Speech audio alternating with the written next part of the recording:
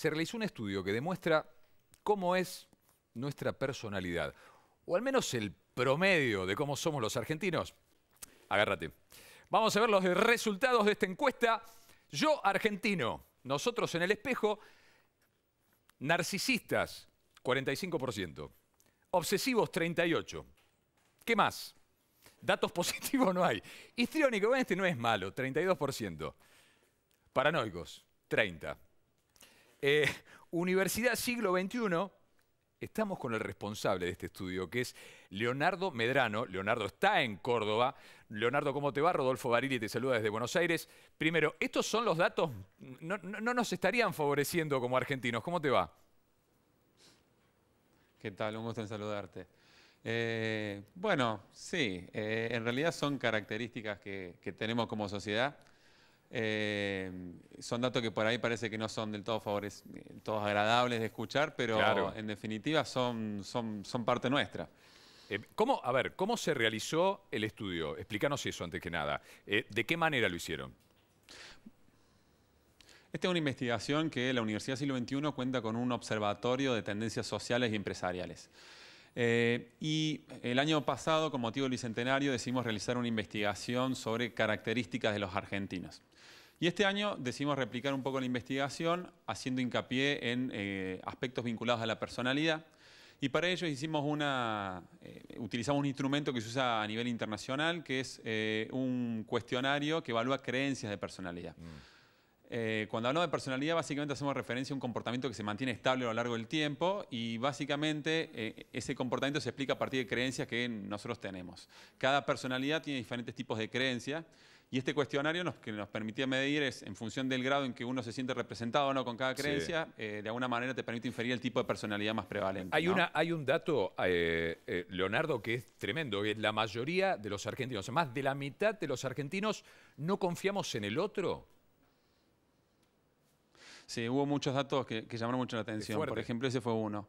Eh, eh, y sí, es un dato muy fuerte porque lo que está indicando es que la mayor parte de los argentinos, aunque tiene esta característica paranoide que hace referencia a que no confía en, otros argentinos, imagínate que es, un aspecto problemático al momento de pensar proyectos colectivos eh, o, un desarrollo social conjuntamente, ¿no? A ver, ¿qué te dio por ciudades? ¿Está esa diferencia, por ejemplo, entre el porteño, el que vive en la capital de una provincia y el tipo del interior? ¿Qué, diferencias muestra el estudio? Bueno, en general se, eh, a ver, se observan algunas diferencias por ciudades, pero hay que decir que hay algunos datos que fueron bastante homogéneos a lo largo de, todas las ciudades. Por ejemplo, casi la mitad de los argentinos se autodefinió como una persona interesante y apasionante. Más del 60% de los argentinos señalan que es más importante la intuición y la emoción por sobre la planificación y el pensamiento racional. Son algunas características que se vieron en todas las ciudades. Sí es cierto que hay algunos puntajes en los cuales, por ejemplo, en Buenos Aires fueron un poquito más altos los, puntajes en, la escala de narcisismo. Eh, acá en Córdoba, por ejemplo, se observó un poco de puntajes un poco más altos en, la escala de histriónicos, esto que por ahí nos gusta un poco llamar la atención eh, y ser centro de atención a veces. Pero en general los resultados fueron bastante homogéneos en las diferentes ciudades. No se observaron diferencias estadísticamente de, gran magnitud. Eh, además de esta cosa de no confiar en el otro, ¿qué, otro dato no esperaban en el estudio? Eh, bueno, hay, muchas características. Uno de ellos fue esto de las características obsesivas que tenemos.